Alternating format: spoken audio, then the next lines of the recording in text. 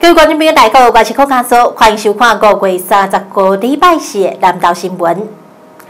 台面媒体伫今仔日公布上新的全国县市长施政满意度调查成绩，其中南投县长林明珍提到上悬的五粒星肯定。林明珍那施政分数排名全国第三，满意度嘛是全国第四。在此，李明珍除了感谢大家支持以外，嘛表示将会继续努力求进步，为南岛县民提供更较好的服务。行动团队五星县长继续努力。咱们县长李明珍的施政分数，伊个创下着上好成绩，全国排名第第三名，满意度嘛是全国第四，在中部各县市当中，更是第一名。十八座，我们八十八。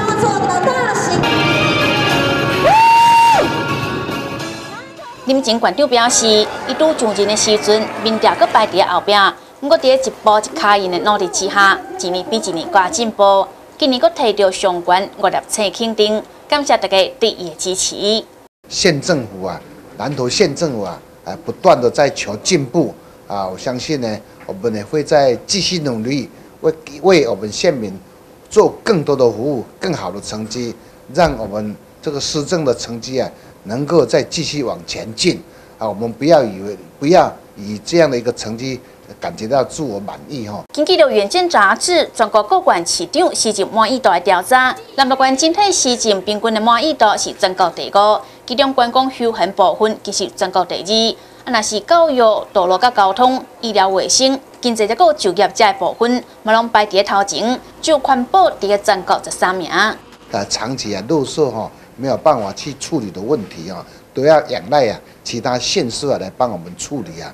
那么如果仰赖其他县市哈，哎，在这处理的量事啊方面呢，就有所啊，哎感到不理想啊，还会囤积啊啊好多的垃圾啊在我们县内啊。这一点我们县政委一直在检讨。你们前县长表示，你都要赶紧来处理掉本色的问题，伫空气污染这部分，官府嘛已经来提高台中火力发电厂。要求调整另外政策，以确保民众的健康。记者林明新采访报道。